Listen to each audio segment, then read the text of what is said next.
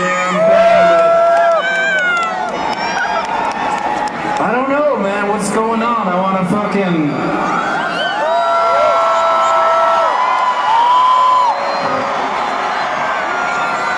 Under cover of darkness.